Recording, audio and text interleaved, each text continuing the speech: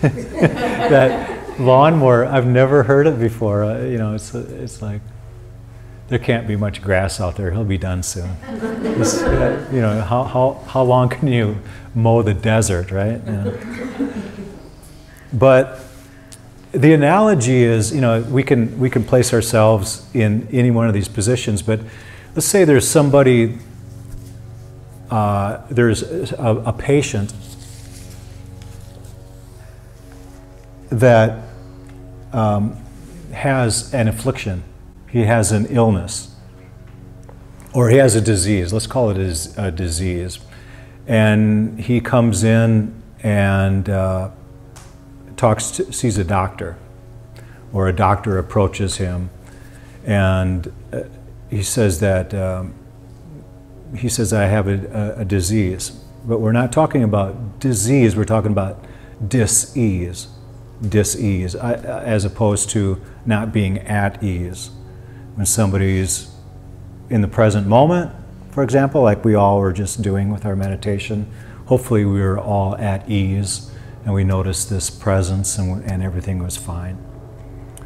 But somebody uh, uh, approaches the doctor or he has a conversation with the doctor and says there's some disease, and he, he asks what the uh, symptoms are. And the patient or this person says, Well, I, um, I just feel kind of stressed out. You know, there's some stress in my life, and and the doctor says, "Would you say it's kind of some suffering?" He said, "Yeah, well, there's some suffering there. You know, um, I don't feel complete all the time. Uh, sometimes I'm happy. Sometimes there's sadness. Sometimes there's depression. These different things come up for me."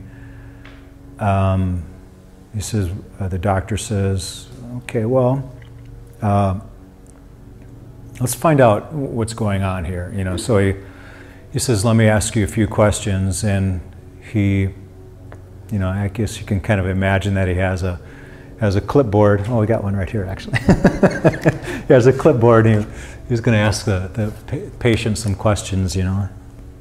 And uh, he says, you know, are there, uh, you know, is there any kind of uh, desire for things to be different in your life? And of course, the patient says, well, yeah, you know, I'd like to have, uh, you know, be a little bit easier, you know, easier life, have more money maybe, and uh, nicer home or nicer location, you know, someplace where they're not mowing the lawn all the time or something like that. What, and he said, and the doctor says, okay, well, uh, is there any fear in your life? Um, the patient says, well, not really, not, not much fear and the doctor asks him, Do you have any fear of death? Oh, yeah, I have fear of death. Yeah, that could be a fear. You know, that's our, our biggest fear, right? and he's probably just emptying the, the bag of the grass. And so the, uh, he says, Yeah, there's some fear. Um, okay, checks off the fear. Any anger? Yeah, there's a little bit of anger that I have with sometimes my my children anger me or my partner angers me. I get a little bit angry, but mostly at traffic. That's when I'm usually more the most angry. So he check kind of checks that off, and and uh, he kind of goes down the list. You know, is there um, any kind of um, any kind of doubt you know that you might have in your life? And uh, he says, Well, you know, I, I, I kind of doubt that uh, I can be free from uh, anxiety, you know, the little, little bit of anxiety I have. And I just think that's a part of life, you know, this. Um, this kind of you know living that I think I think it's just the way that that it that it is. So I kind of doubt that that can be eliminated. For example, he says, okay, so there's some doubt there, and I said, How about boredom? He said, Well, yeah, yeah, there's some boredom. So this patient is realizing that once he kind of looks at this stuff and analyzes it, takes a, like a, a deeper look at these things, he, he sees these, these, they might be subtle, but he sees them there. he sees you know some some aspects of greed and some aspects of of um, anger and, and hatred, and and then you know he, he's there's some delusion there because he's seeing it because the doctor's pointing out these things. He's asking him specific questions, and he's realizing that yeah, there there are these things present in my life, um, and before that, he maybe just felt like things weren't right for whatever reason. Um, so he had this dis, dis-ease about him. And um, so, so there was, um, there was this, uh, these symptoms.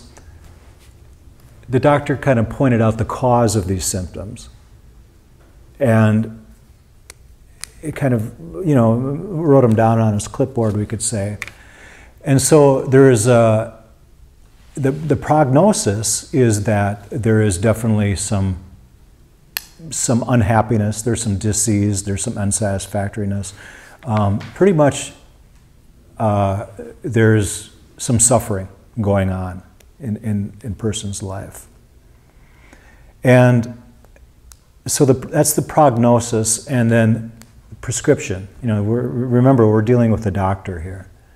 So we have the symptoms, the cause, the prognosis, and the prescription. The prescription, the doctor, you know, is sitting, sitting down with the patient and says, you know, we, the, the bad news is that there are some suffering, but we have good news. There is something we can do about this. And I'm going to prescribe you uh, eight things to take, to take care of this problem.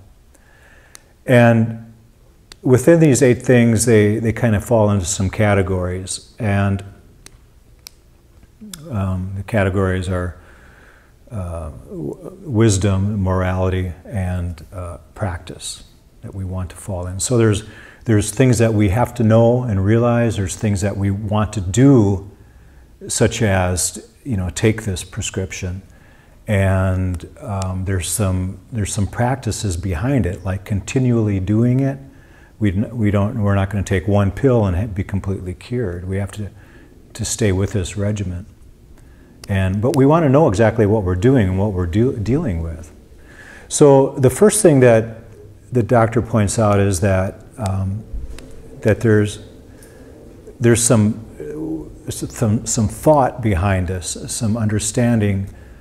And the understanding primarily is that when we do something, there's a result behind it. And this can be pointed out with, with, with everything, every aspect um, of life. And everything that we, that we do, if we, don't, if we start something and don't follow through, there's a result. Um, you know, there's so many examples. I had two appointments to get my hair cut, for example and they fell through. So the result is I didn't get my hair cut. It's something very simple. Um, ironically, I had two opportunities to go to India. Both of them fell through. I haven't been to India yet. The result is that I have not been to India. You know, no big thing. They can do it, take care of it later on. That's just one aspect, but what I'm talking about is, is karma, what we call karma. And I don't often say the word karma because people go, oh, karma. You know, it's got that uh, that in, that that uh, meaning behind it, where um, oh, bad you know bad karma. That's why this happened, or that's why that happened. But in reality, it's it's it's true. It, karma, cause and effect answer a lot of questions for us, as far as why to do um, certain things happen to certain people, and it's very basic that there's we perform an action and there's after that action is done there's there's a result to it. That's why we pretty much do what we do you know because we we th think there's going to be a result. If we sit in in quiet meditation the result is is that we have some clarity and and some some understanding and some happiness will will result of that if we go to work earn some money. The result is that we get a paycheck, and we have you know money that we can do things you know help other people with and do all sorts of other things with. And the result of a metta practice is that we have this uh, kind of a conditioning of the heart. We, learn to understand and, and appreciate others at a, at a different level. And, and it goes on and on. So all we have to do is be aware uh, of, of this process, this um, cause and effect. And the, another part of this prescription was the understanding um, and the thinking process that's behind uh, loving kindness, behind compassion, and behind uh, renunciation or letting go. So if we have these beliefs and we have the, this, this uh, stickiness uh, and we have difficulty uh, letting go of things that we probably know that we should let go of, such as maybe, um, like I said, beliefs or relationships, um, ideas of how things should be. Uh, and again, the list goes on and on. Uh, and even uh, some possessions. You know, when we walk into a room and the room feels cluttered, it's for a reason. It's not only in the mind, but you know, it could be something in our environment that feels cluttered. And the same, but the same thing goes for our mind. If we're confused, if we have any kind of delusions, it's generally because there has to be something that has to that should fall away, that we should allow to fall away. And it's true with um, being compassionate towards other people too, and compassionate towards ourselves, and being loving towards ourselves. Um, talking about loving kindness and loving towards other people.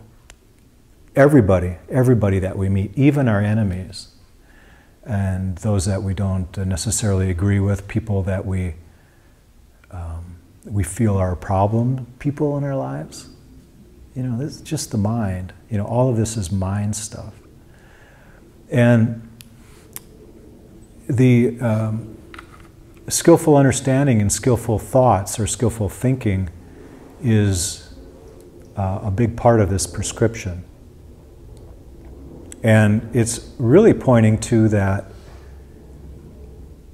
uh, any kind of problems or difficulties that we have are, are really up to us. So this the stuff is a choice. Everything is a choice that we have. And, you know, things do happen in life, but we have a choice of how we react to it. If there's an adversity or something that we feel is a problem or a difficulty that comes up to us, how do we look at that? I mean, do we look at it as a problem or a difficulty? We don't have to. It's really up to us it's a choice. I had a conversation with somebody um, just last week, and he was just, he realized, he just came to a realization that everything that he's ever done was a choice. He'd been smoking all of his life, and he was, he said that when I have a, he said that just to have the realization that whenever I have a cigarette, it's a choice. It's a choice that I'm making at that moment. And that can be a huge discovery for people. You know, everything is a choice. That's why we are here right now, because it's a choice.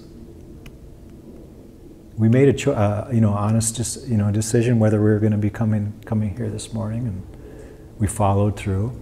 Even if it was very subtle, even if it was just well, I've done this for seven weeks, I'm going to just continue doing it. Um, I had one person, one person this morning had to drop off something. He said, I'm going to drop off that book that, that you loaned me. I'll put it in your mailbox this morning. And I said, Why don't you um, drop it off in class this morning? Why don't you give it to me in class? And then there was a text a little while later. I, I guess I won't be going to class um, because he was signed up for the. He's part of this group. Uh, no names, of course, but um, and he was kind of following the habit of not, you know, coming to the coming to the morning class, where everybody here was following the habit of coming to the class. So a part of this prescription is skillful understanding and skillful thought. Uh, the other part of this prescription is more of a um, more of a morality kind of aspect and a skillful speech. And these are things that, remember, this is the doctor talking to the patient. So when we talk, the, when we use these words, this is really a uh, accumulation of what is going on in our mind. This is our, our relation to those outside. And we should be very, very careful with what, how we use our, our words and how we speak. You know, is it truthful? Is it kind? Is it soft? Uh, or is it harsh? You know, is it uh, are we aware that our words can be used as weapons? Are we aware that they can be used in in a very profound way? You know, when um, for example, when President Obama was speaking, people listened to him when he was running for president. Oh, they still do listen to him. Very good speaker. You know, if, if when people would think of President uh, Obama before he was even president, they would think in terms of how eloquently he speaks. It was eloquent enough to get him elected, you know, as president. Very, you know, very clear speech. And you know, this is something that I'm always working at. I know that I, I need a lot of work in that area. Um, but to be uh, present of that and to be aware of how we speak and think in terms of when we speak to a child, you know, that child is wide, wide, wide-eared open, you know, wide-eyed open, and ready to take in every word that you say and to repeat it to everybody out there, maybe for the rest of their life. And so we have to be very careful what we say to that child. But the same is true with everybody in our lives. We, we should be very careful of the words we use and how we use them. Skillful speech, you know, refraining from lying, refraining from harsh speech, refraining from manipulating, refraining from uh, using um, uh, negative speech, such, such, as swearing and uh, particularly lying, not telling the truth. Skillful speech. Skillful action is the other part of the prescription, the actions that we use. And in Buddhism, we look at precepts as far as actions go. And part of it is the speech, but also part of it is to refrain from uh, using our body in, in negative ways, such as harming or killing. Um, refraining from uh, overindulgence of intoxicants or using drugs in a certain way that they can harm us or encouraging other people to use them in a certain, certain way. And um, refraining from uh, negative you know, sexual misconduct, generally where there's a, a third person involved that could get harmed or something like this. And these are, these are called, the, these are precepts. Um, and they include stealing as well, taking what is not ours. But as lay people, we have five precepts. So a monk will have 110 or something like that. Um, and they, they all have to do with the actions that we, we do body, speech, and mind. And so, skillful speech, skillful action, and skillful livelihood. Livelihood is our jobs, is our work. Remember, these are prescriptions from the doctor. Look, look at what we do for our work. Do we, first of all, do we like our job? Does it cause any stress for us? Do we hate walking into that, that, that work that we do? Or do we like it? And if we do like it, why do we like it? And if we don't like it, why don't we like it? Really take a look at that. But does it, does it harm anybody?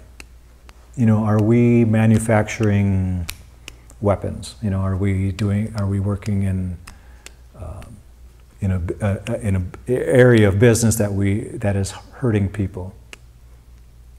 That is, is illegal or um, not benefiting others? If we're, if we're doing something in work that benefits other people, and makes us feel good, then we're exactly where we should be.